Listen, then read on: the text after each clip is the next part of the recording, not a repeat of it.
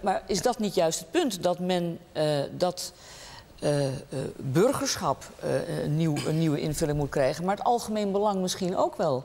Dat, dat, er, dat er misschien wel niet één algemeen belang wordt herkend. Mm -hmm.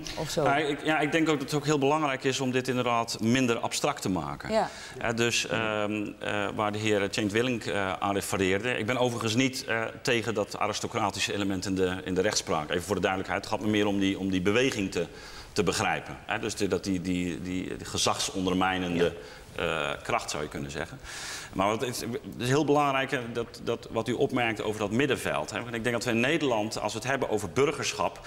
Um, ja, dat, dat, dat, is nooit nationaal geweest. In, in, in, de, je zou kunnen zeggen, de, de Fransman was echt vive la France. Had een hele sterke nationale uh, identiteit van burgerschap. Er zitten ook allerlei onderscheidingen in. Bij Nederland is dat, uh, dat is ook eerder wel in de uitzendingen aan de, aan de orde geweest, is dat natuurlijk getemperd. Uh, we spreken wel over het pluralistisch Nederland, door die zuilensamenleving. dus waar, waar sterk die, die, religieuze gemeenschappen heel bepalend waren, ook voor die politieke vertegenwoordiging.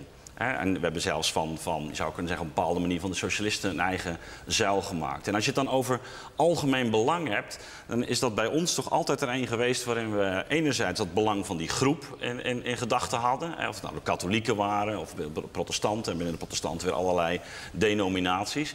En die groepen vervolgens zeg maar, aan de top samenwerkten in een soort Nederlanderschap. Wat, wat zichzelf dan ook begreep vanuit die verscheidenheid. En ik denk waar Bas Heijnen op wijst, en dat is terecht dit moment denk ik nu, nu de grote uh, dynamiek.